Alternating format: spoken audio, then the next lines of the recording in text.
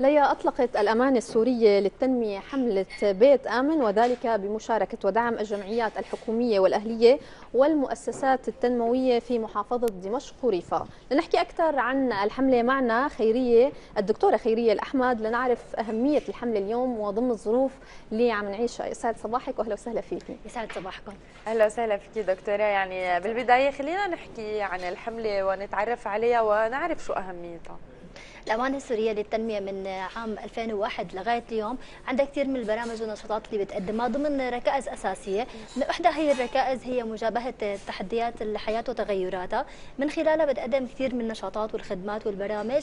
آه، أحد أهم الأهداف هي المساندة النفسية المجتمعية يعني إحنا من خلالها بنساعد الأشخاص اللي هن أشد ضعفا بالمجتمع. ومن خلال المناسبة العالمية اللي هي هلأ عم تكون فترة 25 11 ل 10 12 هي مناسبة عالمية. هي مناهضة العنف ضد المرأة المرأة حملة 16 يوم. فنحن الأمانة السورية للتنمية بمشاركة الجمعيات الأهلية بدمشق وريفا والفوضية السامية للاجئين. فمساعدتنا كلياتنا مع بعض. فانطلقنا بهيدي الحملة اللي هي مثل ما تفضلتي نور هي شعارها هي بيت آمن هي عنوان الحملة بيت آمن تحت شعار الأمان من المنزل إلى الخارج. طبعا هيدي الحملة هي عم تكون مناهضة لل... مناهضة للعنف ضد المرأة. وبالمحور هيدي السنة رح يكون هو عبارة عن العنف الأسري. عن نحكي أكثر عن العنف الأسري. بتتضمن هي كثير من الأنشطة والانشطه كثير ونشاطات كثيره أهم هيدي الأنشطة اللي هي عم بتكون هي عبارة عن جلسات توعوية من الناحيه النفسية والقانونية والصحية. من خلال هيدي الجلسات عم بيكون في آه، توعية تقديم توعية واستشارات آه، للأشخاص وبالإضافة لتدخل إذا كان في حالة من الضرورة. كمان في جلسات رح تكون جلسات هي آه، حوارية تفاعلية بعدد من المناطق دمشق وريفا اللي هي عم تكون موجودة بمواقع الجمعيات اللي هي دائما مساعدة لأنه بتشارك معنا بكثير من الأنشطة والفعاليات الجمعيات الأهلية بدمشق وريفا بالإضافة لمراكز الأمانة السورية للتنمية اللي هي مواقع المنارات. طبعا المنارات هي أحد برامج الأمانة السورية للتنمية. بالإضافة لحتى رح يكون كمان عندنا آه، نوع من الرسائل التوعوية اللي حتى عم نوصلها نحن من خلال ال social media. إنه ممكن الناس فيها تحضر وهي نقطة كثير مهمة. تماما. هي متوزعه على ال social media من خلال الإذاعات التلفزيون من خلال مواقع التواصل الاجتماعي. طبعا نشكر شركة تسكيل اللي هي عم تساعدنا بالتصميم الاعلاني لهذا الموضوع. آه، هيدي بعض النشاطات اللي هي عم تكون موجودة. وكمان في نوع من المشاريع رح نطلقها من خلال مشاريع تمكين دور المرأة آه، اقتصاديا. آه، هي بعض الجملة من النشاطات اللي عم تكون مقدمة. تمام. دكتورة خيرية خلينا نحكي أكثر عن فكرة إنه يعني في كثير من السيدات هن معنفات ولكن ما بيسترجوا يحكوا. ما فيهم يقولوا لحدا. ما عندهم سند أو ممكن عندهم سند ولكن بيقول لهم معلش خليكم هاد بيت جوزك هاد هيك. نحن ما عندنا هيك حملات لحتى نخلي السيدة إنه هي تكون أكثر جرأة لحتى تطرح مشكلتها. في سيدات عم يوصلوا للموت عم يدفنوا حالهم بالحياة من وراء العنف. تماما. هي انطلاقا من هذا الكلام اللي عم تفضلي فيه ليا. هو أهداف الحملة هي هيك بتركز.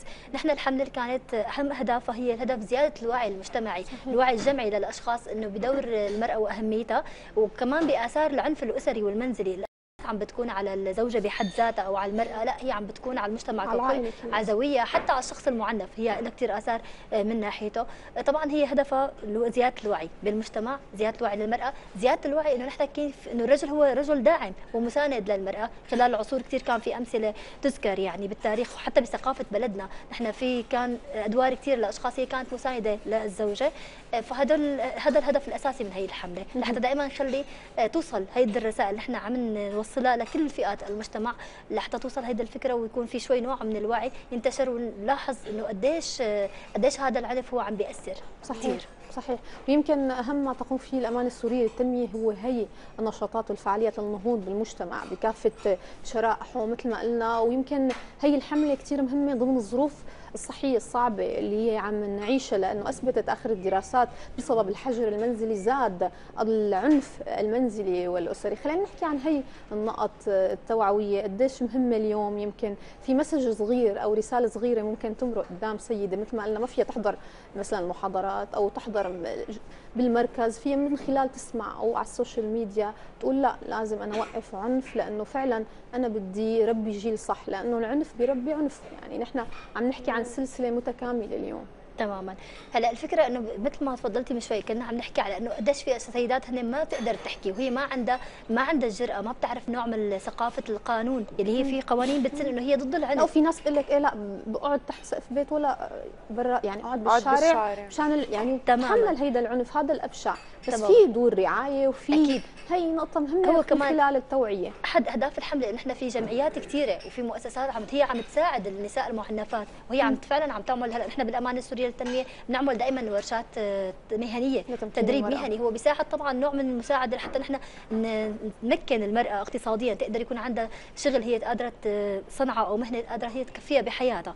فأحد هي الأهم الأهداف اللي هي عم نحن بنأكد بهذا الموضوع. للأسف هن بعض السيدات هن نوع من الخوف من التردد من آه، مثل ما بيقولوا خجل من المجتمع. في أشخاص ما بتقدر تحكي بهذا الموضوع. صح. لأنه بنفس الوقت بتقول لك أنا في أحيانا أعراف وعادات وتقاليد للأسف منتشرة بالمجتمع هي إنه أنا أنا لا أنا بنت ما بقدر ما بقدر أحكي ما عندي فرصة التعلم. طبعا هي ما أنا موجودة كثير أكيد بس- في بعض الفئات هي بتتبع للاسف لا ما زالت. فنحن لنلامس هذا المجتمع اللي هو عم بيعمل هيدي العادات. هي غير صحيحة هي غير سليمة. لا لنتجه لعادات سليمة أكثر لأنه بالنهاية الأم هي عم تبني جيل. صحيح. يعني هي عم تربي الطفل اللي هو عم ينشأ لأسرة ثانية عم بيكون أسر ثانية عم بيتعامل مع علاقات اجتماعية عم بيتعامل مع أطفال من زوية عم بيتعامل مع أطفال بالمدرسة بالمهنة. فهيدي هي عبارة عن كل متكامل بالمجتمع. صحيح. دكتورة خيرية خلينا نحكي عن تأمين فرص العمل واستثمار اليد العاملة من السيدات. يعني كثير من السيدات بيعرفوا يعملوا كروشيه بيعرفوا يعملوا تماماً. يعني كل السيدات بيعرفوا يعملوا شيء. ما ما بيعرفوا يعملوا كبة بيعرفوا. أكيد. فيهم هلأ مثلا يشاركوا ضمن بازارات هلأ عم تصير بايام الكريسماس فيهم يشاركوا بكثير أو بيت مونة أو أو 100 شغلة فيهم.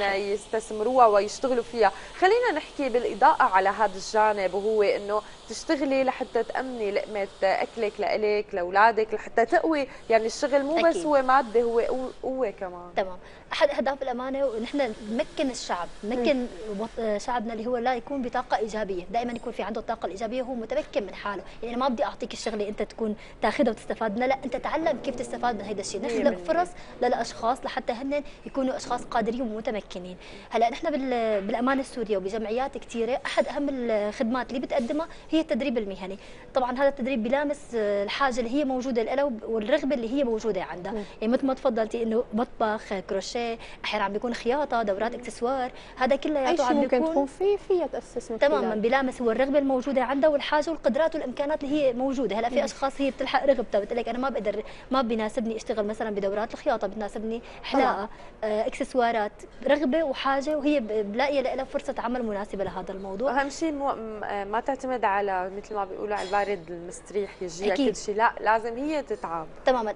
إحنا احد أهم أهدافنا هي إنه أنا ما بعطيك أنا بخلق لك الفرصة لحتى أنت تطلع القدرات والإمكانات اللي هي موجودة عندك لتصير شخص متمكن. لأنه بالنهاية أنا إذا أعطيتك الشغلة هلأ خلصت أخذتها يمكن ما تقدر تستثمرها بالطريقة الصح بس أنا بتعلمك كيف بدك تستثمرها وكيف تحط الخطة والإنتا... تتعلم كيف تحط أهداف بحياتك تتعلم كيف تحط خطة كيف إدارة المشاريع الصغيرة. يعني هلأ نحن مو بس كمان عم بيكون في دورات هي عبارة عن دورات مهني بالمنارات أو كانت لا. بجمعيات لأ عم ترفقها بعد الدورة أو أحيانا قبلها. تبني المشروع. تماما. دورات تدريبية بإدارة هذا اللي الصغيرة بدي أسألك عنه لأنه بالإضافة لدورات تمكين المرأة أنتم كمان بتدعموها من خلال المشاريع الصغيرة يعني في كثير الناس بتقول لك أنا ما عندي آه، يمكن مردود مادي أو تمام. شوية مصاري لبلش فيهم نحن عم نحكي عن المشاريع الصغيره اللي هي ما بدها مبالغ كثير كبيرة تمام. عم نخ... عم يتم من خلالها تمكين المرأة وبناء مشروع صغير لإلها هذا كمان بيأثر كمان على الجانب الاقتصادي تدوير أكيد. الاقتصاد الوطني من خلال مشاريع صغيرة فكمان. خلينا نحكي عن هي النقطة آه، بعض السيدات هلأ إذا كانت العباره عن حرف أو المهنة اللي عم تعلمها هي بسيطة ما بدها هالنوع من الثقافة أو التعليم العالي.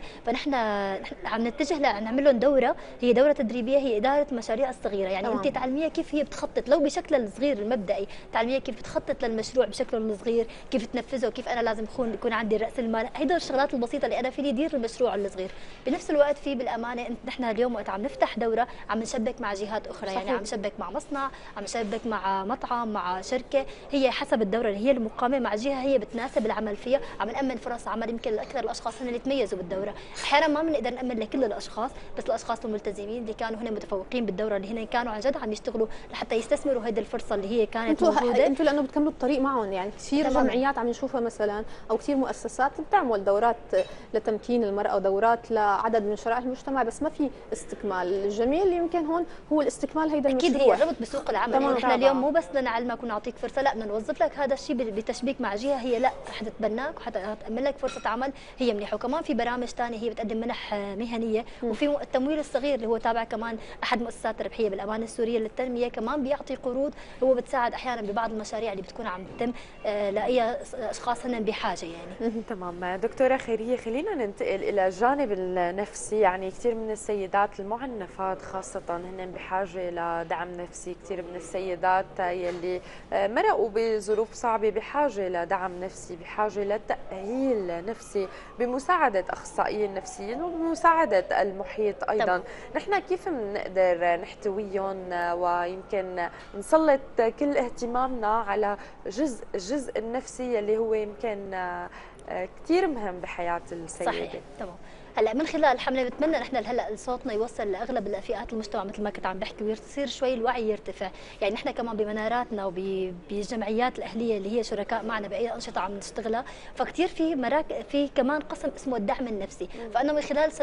هلا عم بسمع شوي من الأفكار وعم بوصل رسائل توعوية إنه نحن العنف ما هو له آثار وله أضرار، فأنا هون صار عندي تحفيز وأنا في حدا بيقدر يساعدني، هلا هذا الحدا أكيد هو ما راح يكون الشخص اللي هو راح يخلصني أو الشخص اللي راح يكون ضدي أو يشتغل لا أكيد لا. هو الهدف إنه أنا يمكن بعض الاساليب هي اللي أنا فيني استخدمها بحياتي هي يمكن تقيني من كثير مشاكل أنا عم ساويها وماني مدركة لهذا الموضوع. بحاجة أحيانا لحدا يسمعني لحتى أنا أتجه للشخص يمكن بحاجة لجانب قانوني أنا ما عم بعرف كيف أتجه. فنحن يمكن بنساعد الشخص إنه انت هيك هيك هو مو لحتى أنا أخرب له علاقته الاجتماعية أكيد لا. لحتى أنا واعي على هي النقاط وهو بنفس الوقت أعطيه شوي أساليب داعمة أساليب محفزة. يعني وقت أنت عم تزيد الوعي للشخص الآخر فهو بصير بينتبه إنه أنا بهذا الموقف عملت شيء غلط معطوا الحق علي.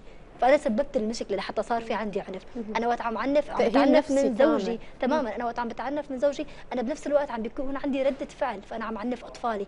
فقديش الأثر رح يكون علي وعلى أطفالي؟ فابني اللي أنا عم عنفه رح يعنف رفيقه. ورح تكون القصة هيك حتتالى ولها اثار كثير كثير عميقة. فأنا يمكن ما أدرك هذا الموضوع. ما أدرك آه، أثر مثلا الضرب. أحيانا نحن بنشاهد كثير مشاهد للضرب بنلاقي بعد شوي بلشنا نحن نمزح بالضرب فإنه هو انعكاس لا وعلى ال social media بتلاقي. فعلا يعني على ال social media كمان بينتشر بعض الفيديوهات التعنيف وبتلاقي المعنف أو اللي عم يتعنف بيسجل هيدا الشيء وبينشره فكمان هي الثقافة كثير. منتشرة وخصوصا بالحجر المنزلي اليوم فترة صار طويلة كثير تقريباً مشاكل. صار. كثير مشاكل عم نشوفها بشكل كثير كبير خلينا نحكي عن نشاطاتكم كمان يعني قلتي في نشاطات كثير خلال ال 16 نشاطات- يوم بدمشق وريفا لنحكي عن النشاطات الأخرى اللي عم تقوموا فيها. تمام.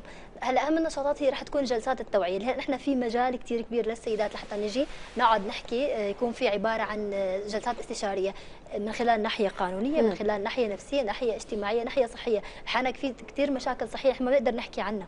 يعني بيكون في خجل. فهون في بيكون في نوع من الاستشارة بيكون موجود فيها. وفي حالات إذا ما قدرت هي أكيد ما حتحكي على العلن عن عن العلن عن حالتها اللي هي عم تكون موجودة فيها. بحالة هيك خاصة فردية إرشاد فردي بيكون. فبيكون دراسة لحالي لهذا الموضوع أكيد مساعدة وتدخل بشكل طبعا أهم شيء قناعة الشخص. يعني أكيد يكون الشخص هو اللي بده أنت تساعديه وتقدمي له هذا الموضوع ويكون مقتنع بالفكرة لأنه هون بس نحن اقتنعنا بالشغلة لحتى نرفع شوي الوعي الموجود عندنا ونقدر نحل الأساليب والمشكلات اللي هي موجودة عندنا فاحنا بنقدر نتجاوز المشاكل. لو بي يمكن ما نتجاوزها بس يمكن نقدر نحن نخفف منها اثارها هي نلاقي. حلول بتناسب السيدة وبتناسب المجتمع. بالختام أي حدا أو أي سيدة عم تشوفنا عم تتابعنا. كيف فيها تنضم للدورات؟ كيف فيها تتواصل معكم؟ كيف فيها تلجأ لكم؟ تمام.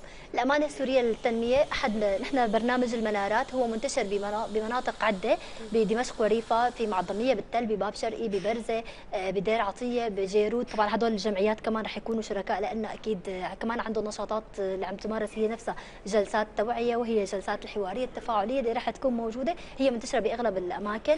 الأمانة السورية للتنمية في صفحة على الفيسبوك حتكون موجودة. فيها كل أرقام المنارات اللي هي موجودة وبتكون عن وكل طريقها وكل تفاصيل النشاطات أكيد وحتى من. الجانب الإذاعي حيكون في اذاعه عن طريق الإذاعات حيكون في برامج بأخصائيين نفسيين رح يحكوا عن العنف يحكوا عن اثاره عم يحكوا عن أنواعه عن شو الأسباب اللي هي بتأديها كيف نحن بنقدر نخفض منه. حيكون على إذاعات متعددة بسوريا بمحليا.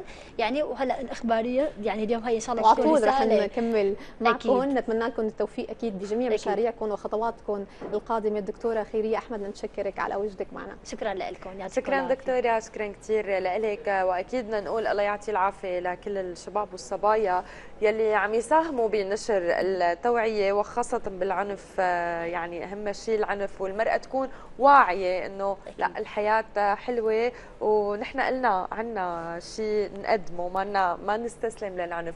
شكرا. كثير لك شكرا شكراً لكم. يعطيكم. الف عافيه شكرا لك